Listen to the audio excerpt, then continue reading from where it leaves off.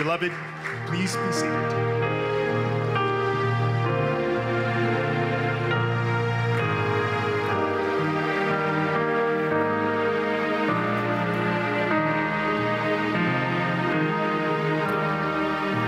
Thank you, praise and worship team.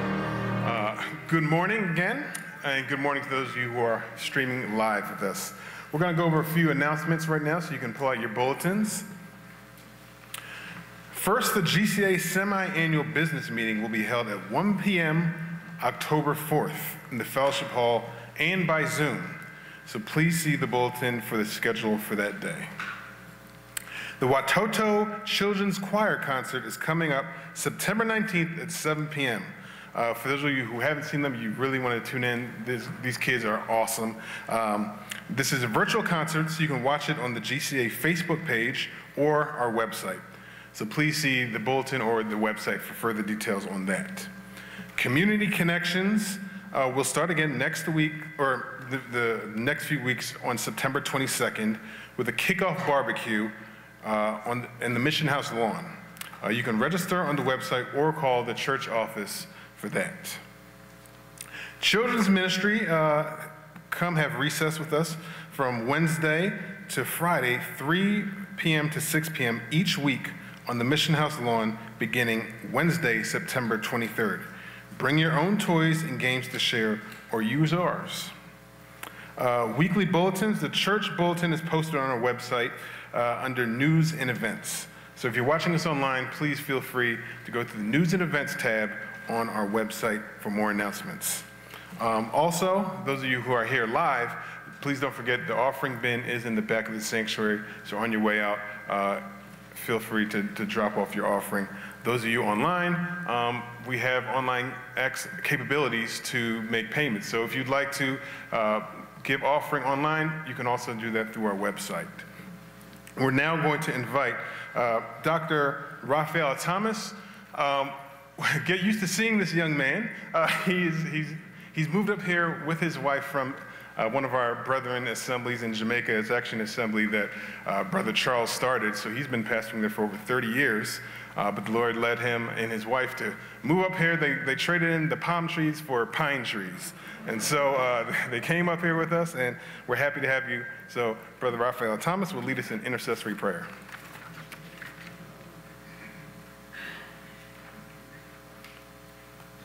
Thank you, Brother Grant. Whatever tree it is, he promises that we shall be like trees planted by the rivers of water that bring forth fruit in season. Our leaves shall not wither, and whatever we do shall prosper. We thank the Lord for leading us here, and we are excited to see what God will do in the days ahead. We believe that God has a plan, a significant plan for this assembly, and we believe He has called us to be a part of it. Let's bow for prayer. Almighty God, we praise you. We worship you. We lift up and honor the name of the Lord Jesus Christ. For the name of the Lord is a strong tower. The righteous run into it and are safe. Mighty God, we thank you for the privilege of prayer, that we can come boldly before the throne of grace, that we may obtain mercy and find grace to help in times of need. Lord, we are living in times of significant need physical need, emotional need, psychological need, financial needs. We lift up these needs to you today. For, for those who are here physically and those who are watching online, we pray that you will meet us at the point of our needs today. We pray for those who are hurting, Lord, that you will bring healing. We pray for those who are wayward, that you will bring restoration. We pray, Lord, that your presence will minister powerfully to us this day. For in your presence there is fullness of joy, and at your right hand there are pleasures forevermore. We pray for the proclamation of your word. We pray that you will prepare all our hearts that we may receive that which you have in store for us. And we pray for your servant as he declares the unsearchable riches of Christ, that you will anoint him afresh Give him clarity of thought and boldness to preach Jesus Christ and him crucified. Lord, we surrender everything into your hands. For thine is the kingdom, the power, and the glory forever and ever. Amen. Amen. Thank you, Brother Thomas. And I also failed to mention, he's sitting with the elders right now. So continue to pray for him and his wife and reach out to them if, if you know, they have moved up here. So if there's anything they need, please give them a, a GCA welcome, guys. Uh, we're now going to invite Brother Washington for the scripture reading.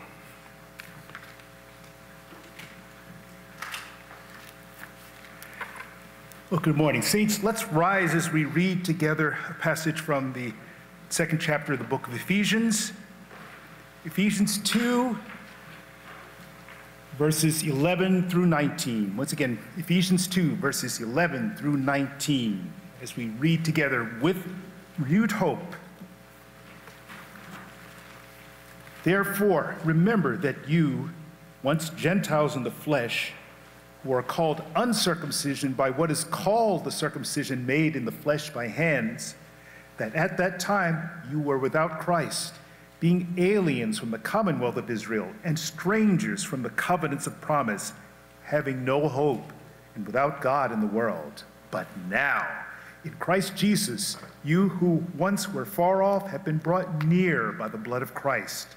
For he himself is our peace, who has made both one and has broken down the middle wall of separation having abolished in his flesh the enmity, that is, the law of commandments contained in ordinances, so as to create in himself one new man from the two, thus making peace, and that he might reconcile them both to God in one body through the cross, thereby putting to death the enmity. And he came and preached peace to you who were afar off and to those who are near. For through him we both have access by one Spirit to the Father. Now, therefore, you are no longer strangers and foreigners, but fellow citizens with the saints and members of the household of God. May the Lord bless the reading of his word. Please be seated. Thank you, Brother Steve. Well, I see a saxophone there, so that means we have special music from Marlon and Friends. So let's give them a warm welcome, followed by, followed by Pastor Brian Grant. Good morning, GCA. It's a pleasure to be um, in your presence once again. As you can see, I got a couple new friends with me this morning. We got uh, Geraldine, a vocalist, as well as Cressia, also a vocalist and a guitarist. Um, uh, this morning we're going to be doing a song called Made a Way by Travis Greene. How many of you could say that God has brought you a mighty long way? Amen. I just want to let you know, um, I feel like somebody might need to hear this this morning that God will make a way for you. Um, he's not finished with us yet, and even though we may be going through a lot of hard times, just know that God is for you, and once He's for you, who could be against you? Amen.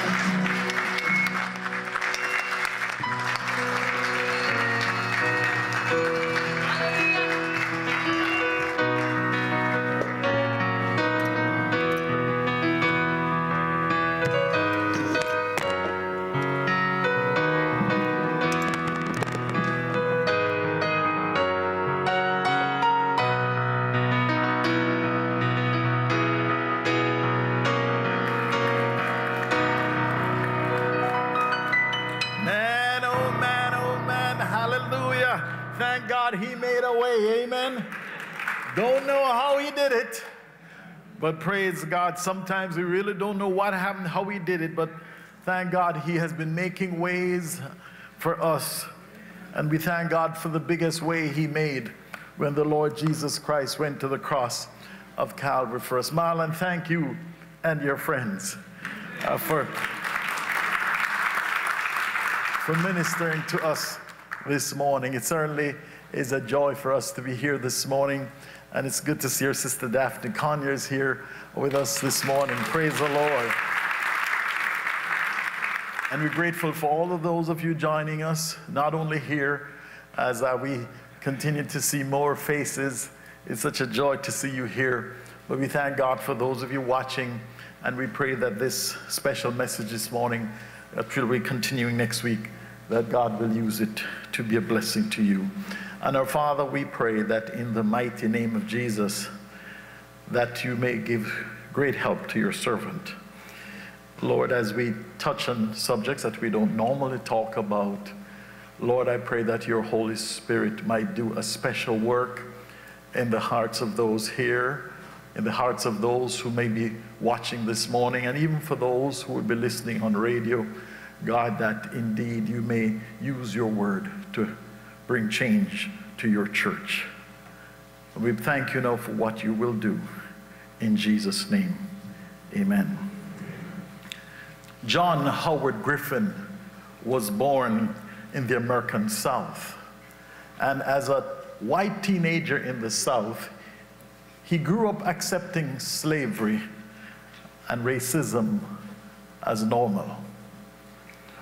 Well, I better say he grew racism because, of course, by then slavery was over. You know, when he was 15 years old, Griffin was accepted to a boarding school in France. And when he got there, to his great surprise, he found that there were black students in his class. And not only were there black students in his class, he found out that the black students were allowed to eat with the white students. Well, that sort of shook him up because, as I said, you know, this was, uh, he, was, uh, he was raised in the 1900s. I, I, guess he was born somewhere about 1930 or 1940. And so this was a little odd for him to, uh, to see white students eating with black, with black uh, students eating with the whites. Well, it, it sort of shook him up, but it made him start to rethink how he was raised. And by the time he got to his mid 30s, because this really worked on him, by the time he got to his mid 30s, he decided to do something unusual. He decided to explore what it would be like to be a black man. Oh, you may think that's a, a story I'm making up, but that's not so at all. Griffin decided he visited his dermatologist who prescribed certain medications that would darken his skin and he spent hours under sun lamps and little by little as he took the medication and as he spent time on the sun lamps, his skin started to darken. And after a very long period of time, he was almost there. Uh, but of course, his hair was a giveaway, and there were still a couple telltale spots that were not dark enough. So he shaved off his hair, uh, and he got a special type of stain uh, to cover all the telltale spots.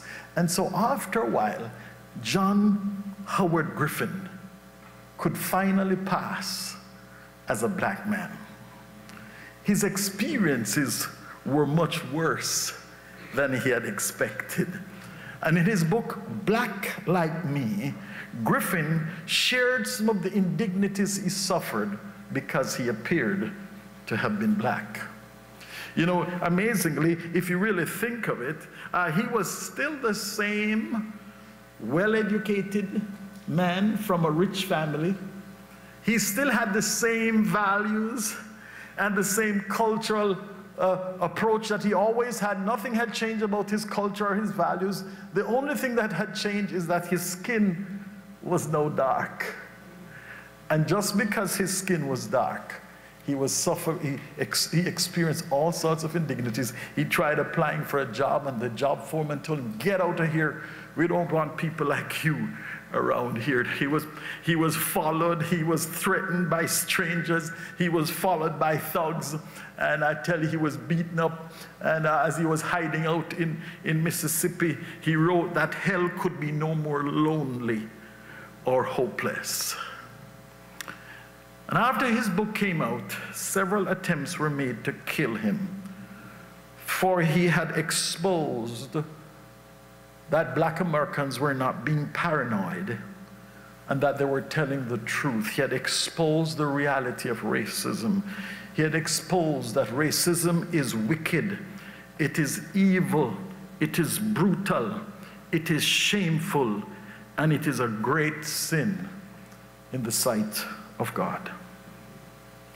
But sadly, this still sin is still very prevalent in the American church. For the American church is badly broken. And if you have a broken church, you'll also have a broken nation. But my friends, it has been past time, and I speak not only to those sitting here this morning, I'm speaking to those who might be listening to me on radio or on the internet. I'm speaking to individuals who are black, white, yellow, black. It doesn't matter what color you are, because this issue of racism affects all of us. Because although we might think we are, are totally exempt, this, this scourge, this sin has affected us more than we believe. And I believe this morning God is saying to His church in America, it is beyond time that we deal with this shameful sin and that we bring these racial divisions among us as the church of Jesus Christ. It's time to solve the problem. It's time for us to start behaving like the salt and the light that God intended us to be. Amen. Now, many church leaders are seeking political solutions. Thank you, my brother. Some church leaders are seeking political solutions. And it used to be that those, uh, some, of, some of the church leaders on the right were heavily criticized for the positions they took and rightly so, because they jumped into bed with certain politicians. But now we have others jumping into bed with those on the left. We are looking for political solutions. But my friend, politics is not going to solve the problem because no matter what who we have as president, no matter what decisions they make, if the church remains divided, this nation will never be united. As long as the church remains uh, divided, the country will never be united. And so this morning, I am rejecting. Listen, you may say, why doesn't Pastor Brian join one of the sides? In my opinion, the fact that the church leaders have taken political sides has further divided the church. Because now we not only have a racial divide, we have a political divide. Some churches are on that side and some churches are on this side. But you won't hear me preaching politics because I am satisfied that the solution we need is a spiritual solution. A solution, listen, a solution that's based on our obedience to the Word of God and our submission to the Spirit of God. And this morning, it is my prayer this week and next week as we share this message to you, with you, that God might work in your hearts and that instead of pointing the finger, oh, come on now Oh, I, I know I'm looking, I, I'm looking at a mixed audience, but the majority of us look like me right now. And I know that we have a tendency uh, to point the finger on the other side. But listen, God is not talking to the other person this morning. God is talking to each one of us. Uh, it's me, it's me, it's me, oh Lord. It's God is speaking to me. And might we this morning be willing to submit to the word and to the will of God? Today, I want to begin a two part message. And as I said, I don't normally preach messages like this, so um, you can understand this is a heavy burden. I want to begin a two part message entitled God's Answers to the Racial Divide in the American Church. Now, I have to, I want to deal with just four questions in the next two weeks. And um, I'm going to ask you to make sure, whether you're here or you're going to watch us, make sure you tune in to part two, because if you only get part one, you would have missed God's message. It's one message. And in part two, we actually share what we believe the the Word of God is saying as to what some of the steps we need to take if we're going to get unity in the church. The first question I want to answer this morning is this Does racism in the church have any biblical support? Does racism in the church have any biblical support?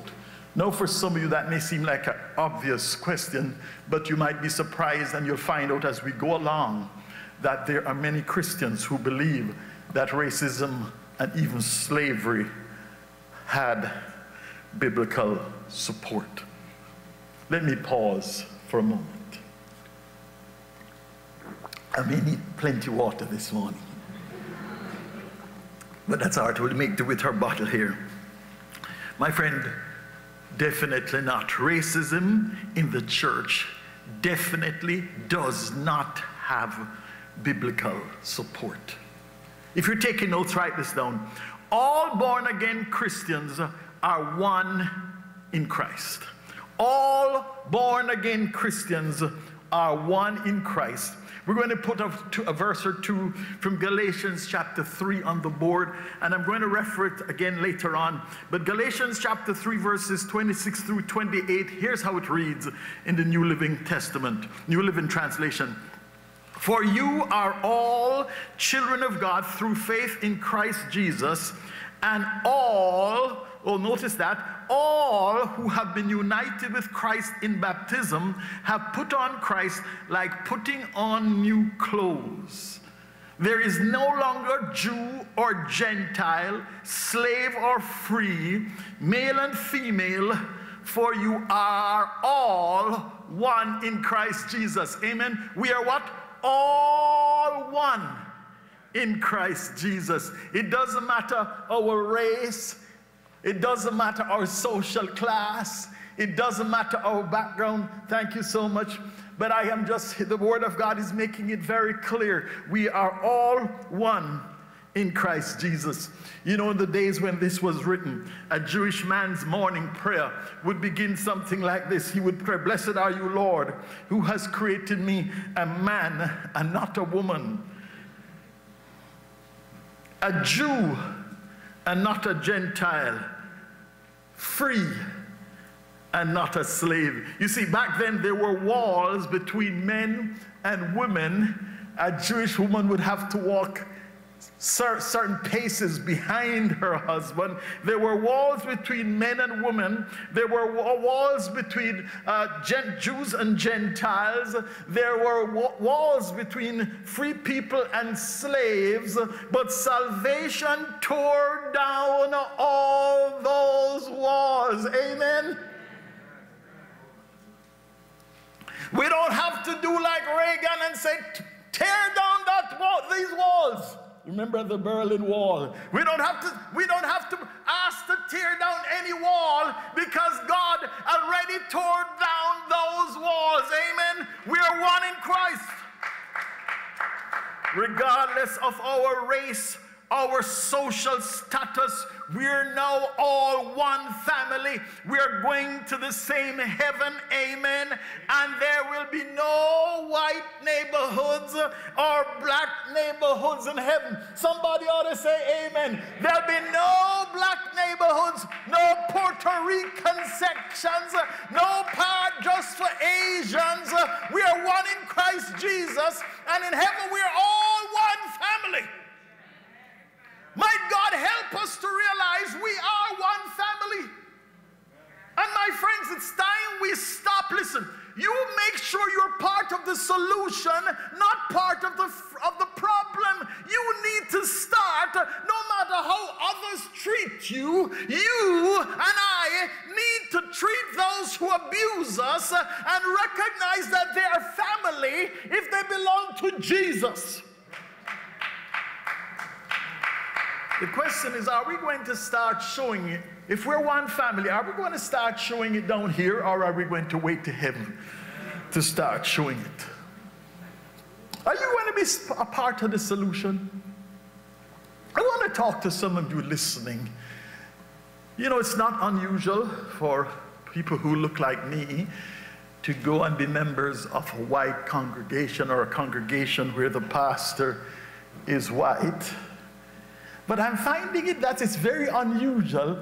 It's if a person that is black is the pastor, it is the toughest thing for some people of other races to attend that church. Some of you who are listening to me on radio, you enjoy the black preachers. You enjoy the Tony Evans and the Pastor Shepherd and others of us not too many of us are in WFIL, but you enjoy the ministry. But if you were looking for a church, you would not be looking for a church where a black man is the pastor. May I ask you why? May I ask you, why is it that you would search and you would go across town to find a church, even although you tune in and enjoy the ministry so much. My brother and sister, as you listen, you need to challenge yourself because racism is much more subtle than we think. The very fact that churches identify themselves as black churches and white churches and Indian churches and Chinese churches, something is wrong. It means that we don't regard ourselves as one in Christ. Oh, by the way, in case you're listening and you wonder, is GCA a black church? No, we are not a black church. We are a multiracial church. We have members born on every continent except Australia. And as you've heard me say before, if you're Australian, we're particularly looking for you. Amen.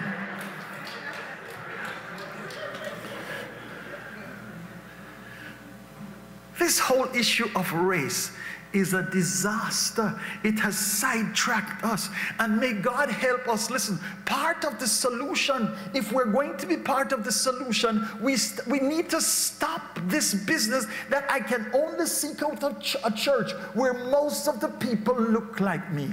I, I just think, as I was preparing, I was thinking of one of the uh, sister churches in Jamaica one of our sister churches in Jamaica, it began years ago as a Chinese church and of necessity. And some of you are from churches like that because you're trying to minister to a group who does not speak English. And all these Chinese immigrants had come into Jamaica. Many of them did not know English very well. And a, a church was formed to reach out to individuals who spoke Cantonese or whatever dialect they spoke then. And so a special outreach was made. But after these people learned English. Uh, the services were changed, and church services were now run in English. And so, if you go to that church today, I spoke there last year, there must have been at least 1,500 or 2,000 people from every single shade, every color, every race there is. Yes, it started as a Chinese church, and you may be from a church that started as a Chinese or an Indian church for a reason, but my friend, you've been in America long enough Amen? The church has to, we need to start working on this. Listen, put this down in your notes. I, I, I just said, what did we say? All born again Christians are, in, are one in Christ. But listen, no matter whether you're a Christian or not, it's important you realize, write this down, God made all humans equal. Acts chapter 17, verse 26 tells us that God made from one blood all men to dwell on the face of the earth. God made from one blood all men to dwell on the face of the earth. So you can write this down. We all came from the same what? Blood. This is why, you know, in hospitals, they don't have to ask you about one time they did. You know, at one time they had to check to see were you white or black before you could get the transfusion, but they don't do that anymore. Do you know that a white person could live if they got my blood?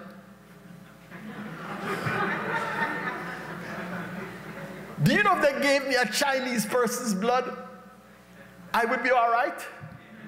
Because God made from one blood. Amen. God made from one blood. Listen, we all came from the same blood. But listen, not only we all came from the same blood, put this down, we all came from the same dirt. Genesis chapter 2, verse 7, 7, the Bible tells us that God formed man from the dust of the earth. We're all made of dirt. Am I right about that? Oh, no matter how special you feel you are, you think you're better than somebody else. Listen, you're no better than the dirtiest hobo, for we're all dirt white dirt and red dirt and yellow dirt and brown dirt and black dirt, but we're all just dirt. It's good for us to remember that, you know. When we get all, have you, just remember you're just dirt. Can you imagine if dirt could talk, how stupid it would be? For one lump of dirt to tell another lump of dirt, I'm better than you. My friend, just like if a lump of dirt told another lump, I'm better than you, you are crazy if you believe you're better than anybody else because we are the same blood and we are the same dirt. But sadly, the church has distorted the message of the Bible. Some of you may have heard of the slave Bible. Any of you ever heard of the slave Bible? Nobody heard of the slave Bible. The, a copy of the slave Bible is in the Museum of the Bible in DC. And you know, about 1808 or somewhere like that, uh, the British, one of the British Missionary Society uh, decided to create a Bible uh, that would, number one, uh, evangelize slaves, but they also wanted a Bible that would help the slaves to realize that it was God's will that they be enslaved. So they created a special Bible. It's actually called the Slave Bible. So, how do they create the Slave Bible? Anything that might show the evil of slavery was left out. You get it? You create a Bible. They didn't add anything. All they did was subtract. And so, for example, the entire book of Exodus was subtracted. Why? You subtract the whole book of Exodus because in Exodus the slaves were set free. Pharaoh, who had them enslaved, was judged. Hey, we don't want slaves believing that the slave master might be judged by God and they will be set free. So tear it out. Out came Exodus. Out came Jeremiah 22, verse 13. Since most of you don't know this verse, I'm going to put it up on the screen because this is one of the verses I hardly ever heard anyone refer to. Jeremiah 22 13. Put it on the screen for us. That one was torn out. Here's what this verse says Woe to him who builds his house by unrighteousness and his chambers by injustice, who uses his neighbor's service without wages and gives him nothing for his work. Whoa! Does not sound like what the slave masters were doing? Woe to him that builds his house by and right. He uses his neighbor's service without wages and gives him nothing for his work. What are we going to do with that verse? Tear it out! But of course, we want to make sure Ephesians chapter 6, verse 5 is in there because we want to emphasize that one. Because Ephesians 6 5 says, Servants, obey your masters. They loved that verse. You know, I heard someone say that a half a truth is a total lie. And my friend, the slave Bible was a total lie because by picking and choosing what to include, it totally distorted the message. Well, I wish I had time to preach this morning because if I had time to preach, I'd talk a little bit about what is happening today where the church of Jesus Christ is picking and choosing parts of the Bible, where churches are actually literally doing surveys to find out what people want to hear about. And anything you don't want to hear about, they don't preach on that. They leave it out. They're doing exactly what happened with the slave Bible. They still have the whole Bible, but they're doing the same thing because they won't talk about anything anything that you don't want to hear about. One preacher said, I will never preach about sin. Of course, I bring him up quite frequently because I cannot believe a preacher would literally say, I will not preach about sin. By the way, this is one of the reasons it scares me that pastors are taking political sides because they end up producing a slave Bible. You say, what do I mean? When pastors take political sides, they don't use the parts of the Bible that challenge the side they're on. I hope you realize that. They only use the side of the Bible that challenges the opposition, but never the part that challenges their side. May God spare us. We better be very careful. And because this is becoming prevalent today, people are using the Bible very conveniently only to challenge one side. But might we realize that when we only pick a part of the Bible to analyze our, the politics of today, we're making a huge mistake because when you only use a part of the Bible, you are distorting the message of the Bible. You know, it's hard for me to believe that a Christian missionary society who knew that the book of Revelation ends with a curse on anyone who subtracts anything from the Bible would take such a risk of leaving parts out. But you see how serious racism is? Racism is so serious that I will risk the judgment of God to achieve my purpose. Let me give you one more illustration. I was going to give you two. I'll only give you one. I'm not even going to talk about the curse of Ham. The curse of Ham in Genesis chapter 9. Uh, uh, you can research it on your own. Suffice it to say, that one hit me because that, that, that idea came from Dr. Scofield. I loved his Bible, uh, but in, in, one, in his notes, uh, he, he, has this issue uh, about the curse of Ham. And of course, they concluded uh, that the curse of Ham had to do with all the descendants of Africans. But let's look here in Genesis chapter 4 and let's talk about the mark of Cain. Let's talk about the mark of Cain uh, just for one more illustration to see how we distorted the Bible so that we could come up with this convenient theology uh, that whites were better than blacks and that blacks deserve to be enslaved. Uh, Genesis chapter 4. I'm going to, just for the sake of context, read verse number 8. Now Cain talked with Abel his brother, and it came to pass when they were in the field that Cain, rose up against Abel his brother and killed him. Then the Lord said to Cain, Where's Abel your brother? He said, I do not know. Am I my brother's keeper? So the words almost, God, what are you bothering me for? And he said, What have you done? The voice of your brother's blood cries out to me from the ground. So now, you're cursed from the earth, which has opened its mouth to receive your brother's blood from your hand. When you till the ground, it shall no longer yield its strength. Notice he was cursed. A fugitive and a vagabond you shall be on the earth. And Cain said to the Lord, My punishment is greater than I can bear. Surely you have driven me out this day from the face of the ground. I shall be hidden from your face. I shall be a fugitive and a vagabond on the earth. And it will happen that anyone who finds me will kill me.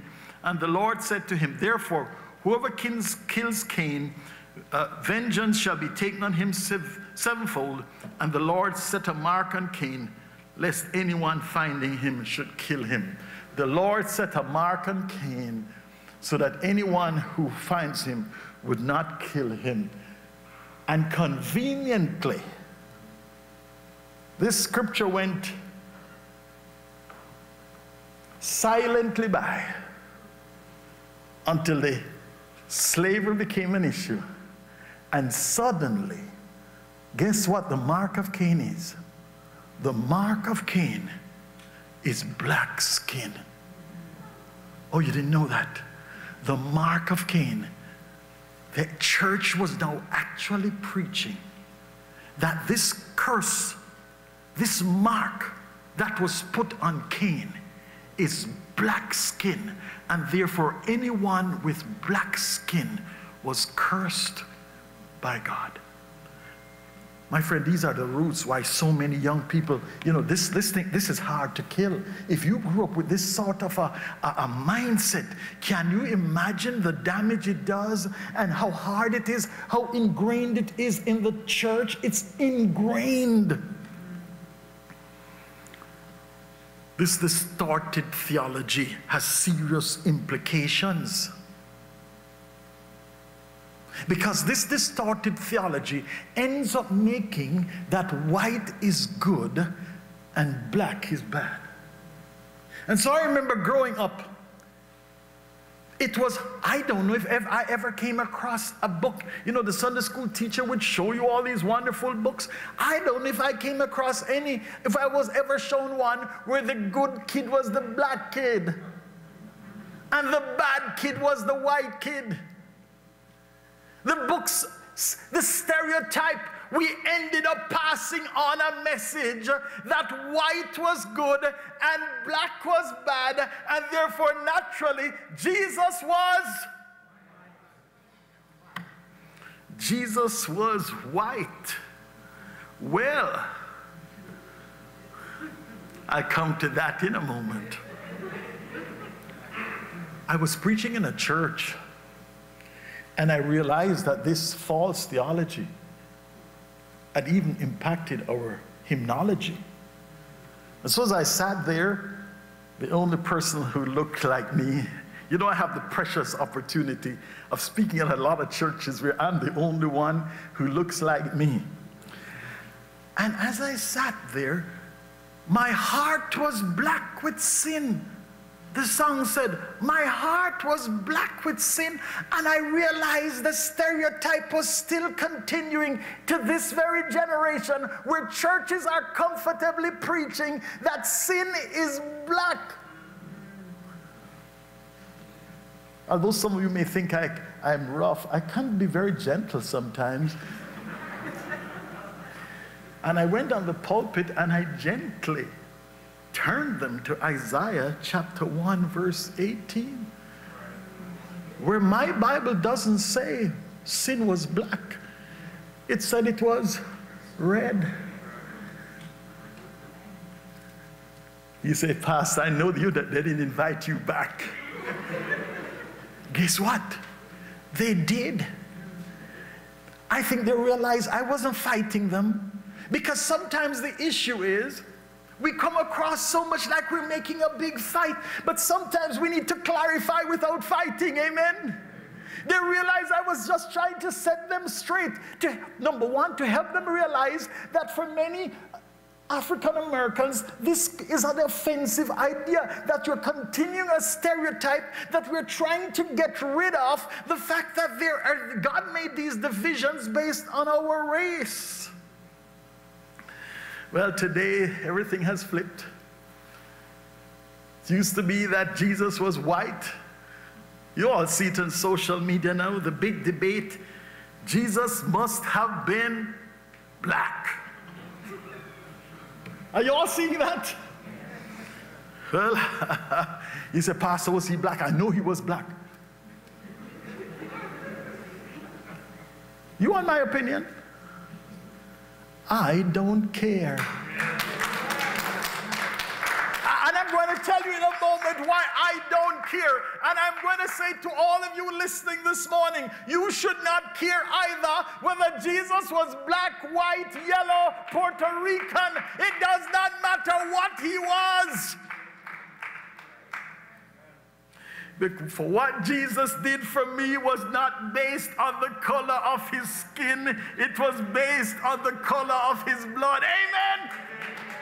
It was based on the color of his blood. And I'm so thankful that the red blood of Jesus has saved me and that the red blood of Jesus was able, is able to save anyone who has red blood. Do you have red blood? You see, we identify with him by his blood. Jesus is was listen, he was God, but he was man. And as a man, I, what I do know, he had red blood, and his red blood has washed my sins away. And my friend, I just want you to know that no matter what you have done, no matter who you are, no matter what race you are, the blood of Jesus that was shed on the cross of Calvary can wash your sins away.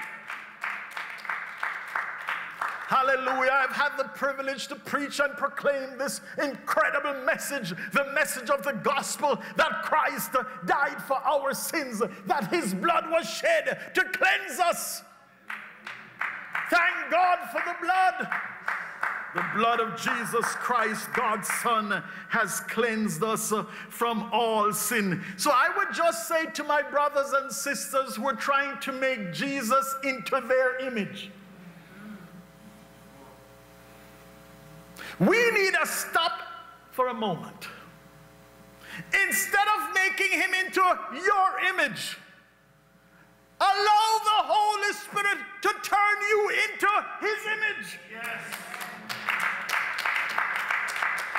God wants us to be like Jesus, and we need to allow the Spirit of God to change us so that we'll get rid of this nonsense in the church this division in the church based on race. It's because we want Jesus to be like us. No, we all need to be like him. And when every believer looks like Jesus, oh, that's when unity will come. Uh, when we desire and, and long to be like Jesus.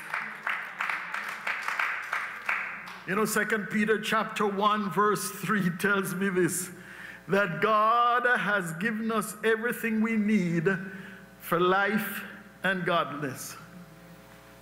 I want you to know the Bible does not tell me anything about God, Jesus' color. But what it does tell me, it has given me everything I need for life and godliness. Put two and two together. It means I don't know to, I don't need to know the color of Jesus. Chew on that. Spending time discovering the color of Jesus will add nothing to your spiritual life. It will not make you more godly.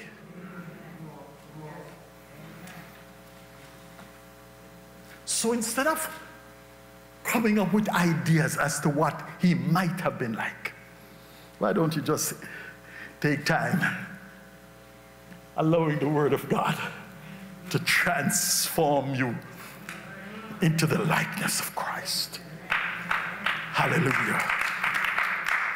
Well, I better get along because I think the clock is moving and uh, I need to get to question number two. I won't be as long on question number two as I was on question number one. I, just as the only other question I'm going to answer today. The question is, what was God's vision for the church? Uh, this is a very important, we must deal with. What was God's vision for the church? Well, I'm going to read to you a little passage here, the same passage that was read, and it's worthwhile reading again in Ephesians chapter 2. So turn back there to Ephesians chapter 2. And if I go a minute or two over, I hope you won't hold it against me because this is something we don't normally talk about. Ephesians chapter 2, verse 11. Therefore, remember that you once, Gentiles in the flesh, Oh, let's stop a minute. I hope you realize that if you're not a Jew, you're a Gentile. It's so amazing that we have all this race issue in the country and in our world. But if we only stop to realize that God had already lumped us all together. There's no, he, he only has Jews and Gentiles. He doesn't talk about the upper class or the lower class. He just had two groups the Jews and the Gentiles. I told you the story about when I, 30 years ago, I moved into this neighborhood. And up to then, it was new homes, and everybody who had new, moved in was Jewish except one man, a Caucasian man. And when he saw us that we were buying a home, he run, ran up to us and he said, Thank God there's another Gentile in the neighborhood. Another Gentile had come. That's the first time I was ever greeted in that way. But you see, if you're not a Jew, you're a Gentile. Whether you're Asian, whether you're Latin, it doesn't matter if you're not a Jew. He said, Therefore, remember that you once were Gentiles in the flesh who called uncircumcision by what is called the circumcision, that's the Jews, uh, that at that time you were without Christ being aliens from the commonwealth of Israel and strangers from the commonwealth of promise, having no hope without God in the world. That is describing every single one of us who were Gentiles. We were without hope. But now in Christ Jesus, you who were far off have been brought near by the blood of Christ. Hallelujah for the blood. Amen. For he himself is our peace, who has made both one and has broken down the middle wall of separation. Is not talking the middle wall of separation between the blacks and the whites, is the wall of separation between the Jews and the Gentiles, because all us Gentiles were in the one boat, uh, standing outside looking in, and God has broken down that wall having abolished in his flesh the enmity. That is a law of commandment, so as to create in himself one new man from the two. Verse 19.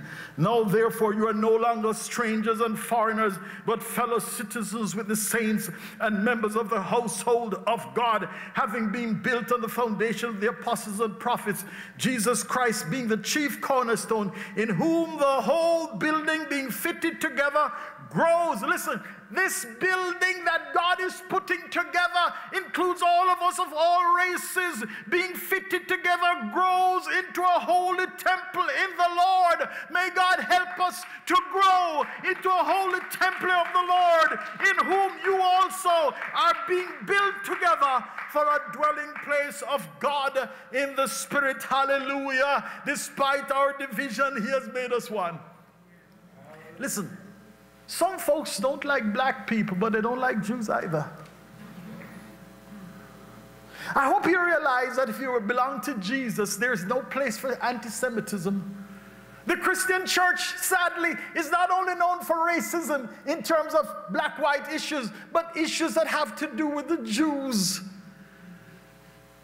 What a thrill it was for us eight years ago. We were in Joppa or Jaffa Jaffa, as they said in Israel. And there it was, a group of us, mostly looking like me, going to this assembly. And there were Arabs there, there were Jews there, and there were folks like us. Hallelujah. And we were all able to worship together because the wall has been broken down.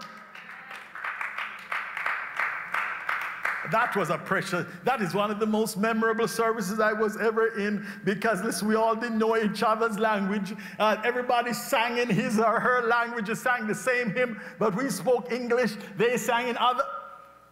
But worship went up to the Almighty God, the one who has brought us together by the blood of Christ. Hallelujah. The middle wall has been broken down. But listen, listen, listen. The baptism, write this down. The baptism of the Holy Spirit united the church into one body. You see, we get all mixed up with the baptism of the Holy Spirit. We don't have time to go into that, but suffice it to say, read with let's read together 1 Corinthians chapter 12. 1 Corinthians chapter 12, verse 12 and 13. And here it what it says, For as the body is one and has many members, but all the members of that one body being many are one body, so also is Christ. For by one Spirit we were all baptized into one body, whether we were Jews or Greeks well, in other words, Gentiles, no matter which Gentile uh, nation you're from, whether you were a slave or you were free, and have all been made to drink into one spirit. He has united us. Did you see that? For by one spirit, verse 13 says, we were all baptized into one body. And listen, we are all part of one body my social class, my race is in, doesn't care. No wonder Galatians chapter 3, verse 26, where we be, starting, and we'll put it up one more time. Galatians 3 26, 28 says, For you are all children of God through faith in Christ Jesus, and all who have been united with Christ in baptism. Well, we're not talking about water baptism. All who have been united with Christ by the baptism of the Holy Spirit have put on Christ like putting on new clothes. Oh, hallelujah. You may have been a racist before, but the day you come to Jesus, you put on a new clothes. We're not the same anymore. And may God help us. Like put it, there is no longer Jew or Gentile, slave or free, male or female for you are all one in Christ Jesus. My friend, if you leave here this morning and you don't get that message, you don't want to get the message. The Bible is clear. We're all one in Christ Jesus. Perhaps you're listening to me this morning, and as you're listening, you realize God is speaking to you because you have had some racist thoughts. Your prejudices have affected you perhaps the way you were raised. Perhaps it's because of an issue at, job, at work or something, and you just don't like certain people because of their race. You need to pause right now and repent. God's word demands change. And if you realize as you sit, it doesn't matter what color you are from, but as you listen, you realize that there are individuals that, although they're Christian, because of their race or because of their social status or whatever it is, you don't like them. You need to stop right now and say, Oh God, help me. I repent. I admit, I, Lord, when I see your word, what your design for the church, what's your vision for your church, I realize I am in sin. And God, I want to change today. Do it. He'll help you. But who constitutes the church? We've said a lot about the church. Who is it that we've been talking about? I want to be clear as I bring this to an end. Because when God speaks about the church, he, He's not speaking to everyone who is a member of a local church. He's only speaking to those who are born again. For in John's Gospel, chapter 3, verse 3, Jesus said, Unless a person is born again, they cannot see the kingdom of heaven. Are you born again? Are you sure you're saved? You say, you say, what's this business about being saved? Ephesians chapter 2, verse 8 and 9 tells us, by grace are you saved through faith, that, that not of yourselves, it is the gift of God, not of works, lest any man should boast. Listen, we don't get saved by works. Perhaps you've been going to church all your life and you've been trying to do a lot of good things. We don't get saved by what we do, we get saved by God's grace, God's undeserved favor. We didn't deserve His grace, we didn't merit His, His grace, but He chose to love us, He chose to save us. But listen, salvation only happens. It says, By grace are you saved through faith there's a part you must play.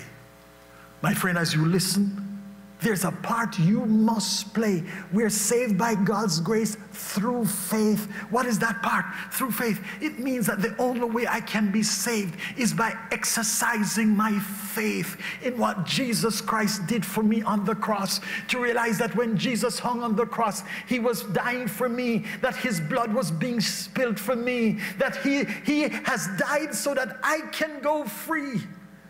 And this morning, I, have to reach out to him in faith and say, Lord Jesus, I recognize you died for me. Would you come into my heart and save me today? And my friend, if you do that, God will hear you and he will save you. By grace are we saved through faith. If you reach out in faith, God will save you. God's salvation is by grace alone through faith alone, in Christ alone. And I pray that right now you will respond to God's grace. And our Father, I pray that as your Holy Spirit works, you might accomplish your purpose for Christ's sake. Amen. My friend, if you've been listening and you need Jesus to be your Savior, I want to pray with you. If you're here this morning, your head, your head is still bowed. You might be here this morning and say, Pastor, I want Jesus. I'm not sure I'm saved and I want to be saved. Would you raise your hand right now?